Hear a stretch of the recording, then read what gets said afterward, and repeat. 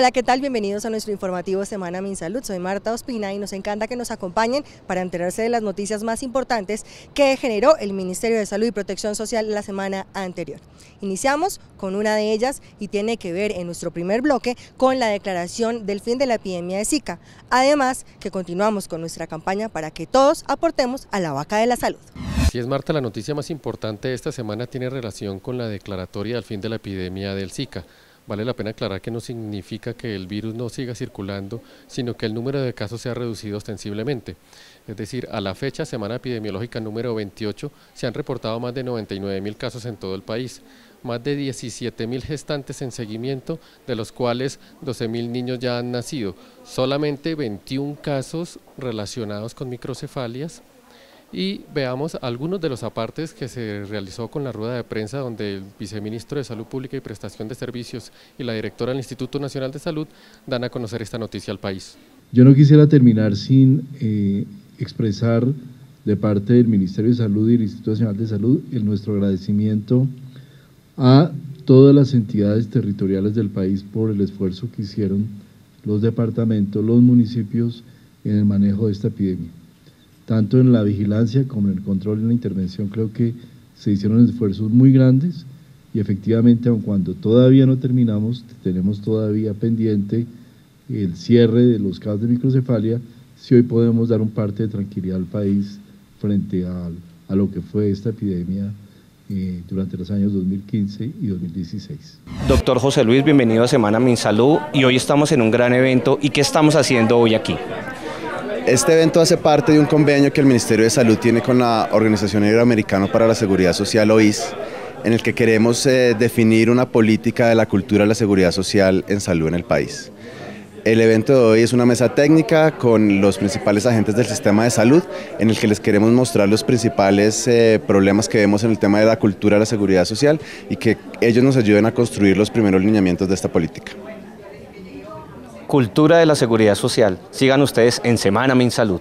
En este segundo bloque les contaremos noticias sobre la visita del ministro de Salud y Protección Social Alejandro Gaviria a Barranquilla y además el lanzamiento de un micrositio en nuestra página web sobre la infección respiratoria aguda. Acompañamos al ministro Alejandro Gaviria a la ciudad de Bucaramanga a la inauguración del Hospital Internacional de Colombia el más moderno de América Latina. Una razón que llena de optimismo para este sistema de salud en medio de tantas noticias negativas. Durante su intervención el ministro habló de dos aspectos fundamentales. Primero, de eh, el gasto excesivo del sistema de salud y manifestó su preocupación por la exhortación que hizo la Corte Constitucional para que eh, el sistema evalúe la posibilidad de financiar los tratamientos de fertilidad. El ministro recordó que más beneficios en todo caso significa más recursos. Por otra parte, pronunció una aclamada conferencia sobre el valor social de la innovación. Dijo que efectivamente la innovación ha sido muy importante para el mejoramiento de las condiciones de vida, pero que ese valor social paulatinamente se ha ido reduciendo al tiempo que aumentan los costos. A propósito del pico epidemiológico de infección respiratoria aguda que se avecina con la llegada del fenómeno de la niña, el Ministerio de Salud y Protección Social habilitó una página en su sitio web para que todas las personas entren y se relacionen con esta infección. En ella pueden encontrar, por ejemplo, síntomas, cómo prevenirla y cómo tratarla cuando una persona tenga este tipo de enfermedad. Recuerden que aquí pueden ver todo lo relacionado con infección respiratoria aguda, incluso cómo está el país en cuanto a casos.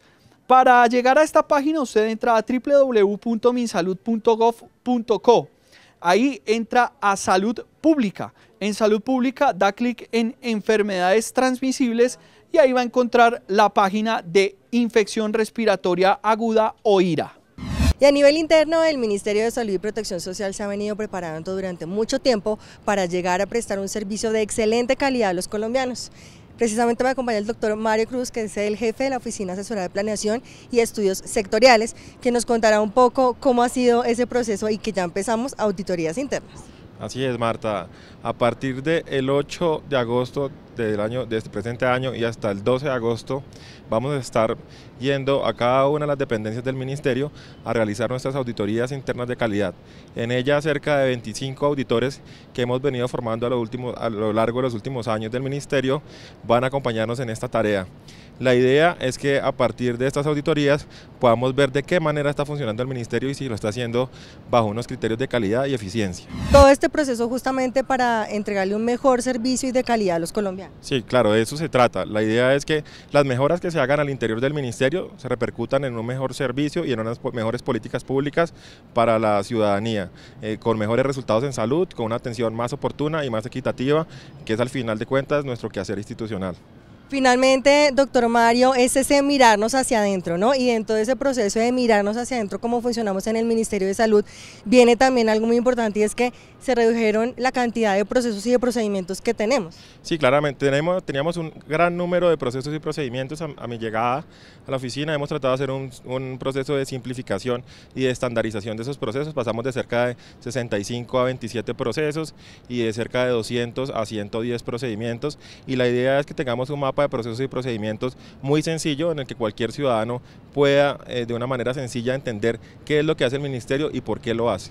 Perfecto, muchísimas gracias doctor Mario. Bueno, y nosotros continuamos con muchísima más información y esta vez le doy paso a nuestras redes sociales. Esta semana en las redes sociales del Ministerio de Salud estuvimos haciendo la transmisión de dos ruedas de prensa importantes.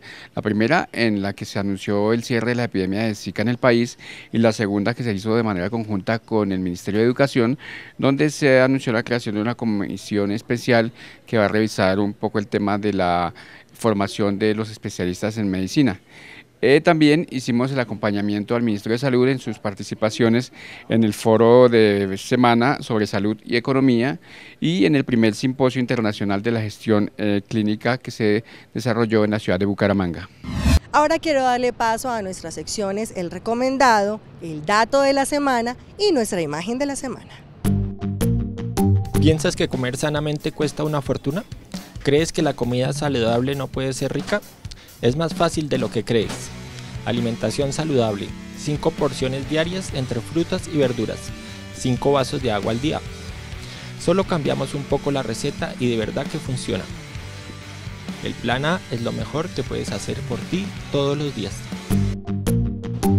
La imagen de la semana fue captada durante la rueda de prensa en la que se presentó la Comisión de Expertos para la Transformación de la Salud Médica en Colombia. Muchas gracias por acompañarnos en nuestro informativo Semana Mi Salud. Los esperamos la próxima semana con mucha más información importante de nuestro sector. Me despido con la cámara de Lisandro Pinzón y la edición de Nicolás Garzón. Hasta la próxima.